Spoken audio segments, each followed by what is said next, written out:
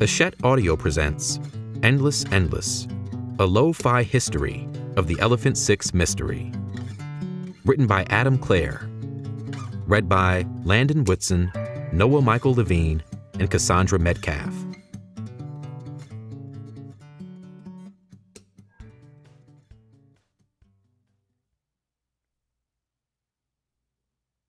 Introduction In a Pitchfork interview published in 2002, Jeff Mangum spoke with his friend Marci Fierman about what he had been up to in the four years since his band, Neutral Milk Hotel, released In the Aeroplane Over the Sea, one of dozens of albums produced by the amorphous, distributed collective of musicians and other artists known as the Elephant Six Recording Company and the one that has found the largest audience by far. The piece is interesting, not just because Mangum is thoughtful and eloquent and philosophical throughout, but also because it was the first interview he had granted in more than three years. It was the first interview he'd done since the end of the tour supporting Aeroplane, when he, Fierman writes, seemed not only to have ducked the spotlight, but perhaps to have stepped inadvertently into some negative matter black hole. It was also the last time anybody has interviewed him.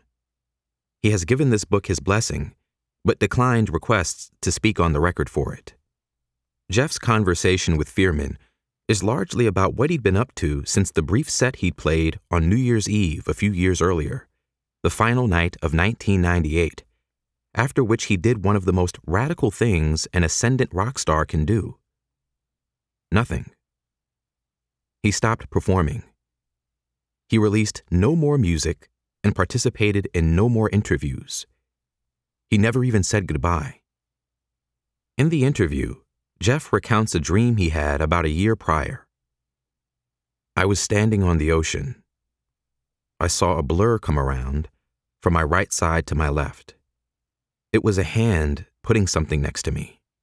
When I looked closer, I saw that what the hand had put there was a little sea turtle.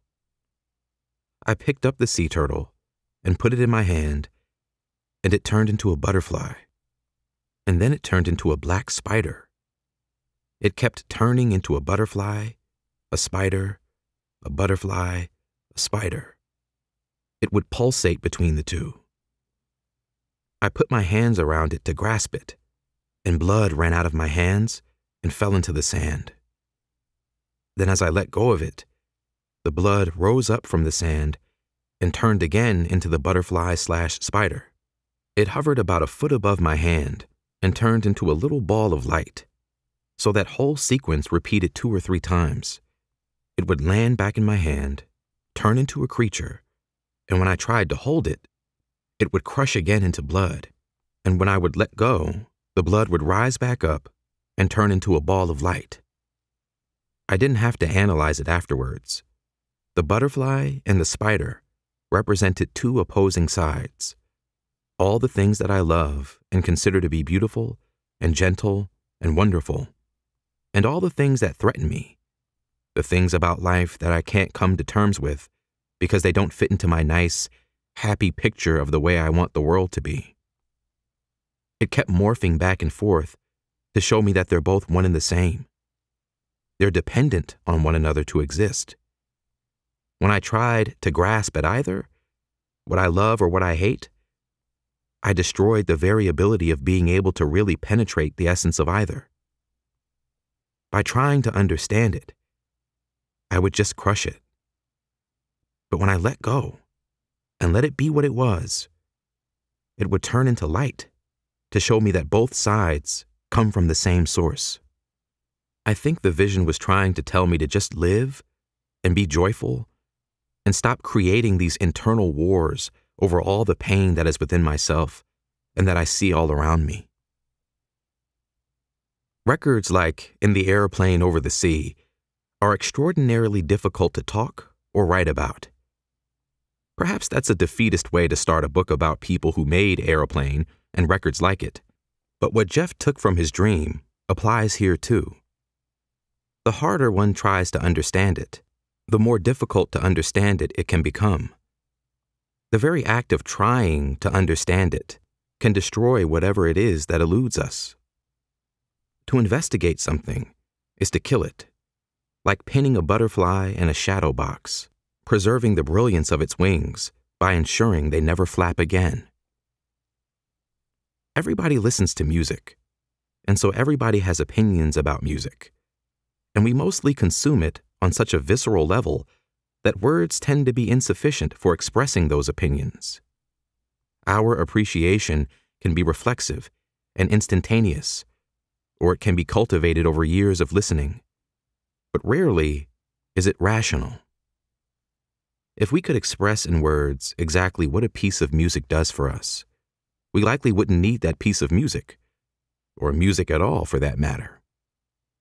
Words are, at their absolute best, an approximation, regardless of what they describe.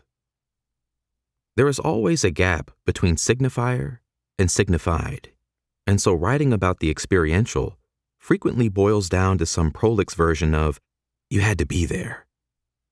Music writing is thus not a mimetic attempt to replace the experience of listening to music, any more than the million billion poems written about love are about replicating the actual feeling of being in love.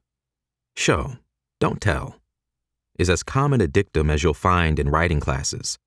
It would be banal if it weren't such good advice. If art has an essence, it is the act of showing rather than telling. The art that really sticks with us, though, is the art that shows by necessity rather than by choice. The work that seems at once monolithic and irreducibly complex, pieces we carry around with us as they alternately mystify and clarify, beckoning us to look deeper and deeper and deeper and deeper and deeper without any promise of a way out on the other side. That is, art endures not when it shows instead of telling, but rather when it shows what could not otherwise be told. It communicates what only it can, such that we can't really explain what we just experienced, and the only meaningful thing you can say about it is go check it out for yourself. There's no answer key in the pages that follow, no glossary, no annotated explanation of what Jeff or anybody else meant by this or that lyric or set list or recording decision. This music, and most transcendent art really, is powerful because it is interpretive. And in celebrating and exploring that work, hard explanation would only serve to destroy it. This, ultimately, is what makes records like Aeroplane and other great Elephant Six works so difficult to talk about. Every attempt to really understand it on a more than personal level serves only to undermine its power, until that power is completely drained and there's nothing even worth trying to understand. Everyone has their own reasons for loving it, drawn from their own unique set of experiences. To even attempt to discuss that power in a book is to universalize those experiences, to pile up the craggy raw materials of our lives and then flatten them with a steamroller. Allow me to explain what I try to do instead, because there's room for only so much. There are more than a few legitimate Elephant Six bands that get no mention at all in the pages that follow. And though I conducted more than 100 interviews for this book, there are still plenty of people whom I didn't speak with. The details of this story are infinite, and this story is merely an approximation of the spirit that runs through it. Few pieces of technology have altered the history of music like the cassette tape. Would be rock stars no longer needed a studio to record their work, which also meant they didn't need the backing of a label or an independent source of wealth. They could do it anywhere and with minimal investment. The cassette democratized home recording in such a profound way that the clicking, squealing, and hissing artifacts of the medium itself have become aesthetic affectations on even purely digital works. Home burned CDs, DJ sets, YouTube and Spotify playlists, and official hip hop releases often bear the name mixtape, generations removed from any analog medium.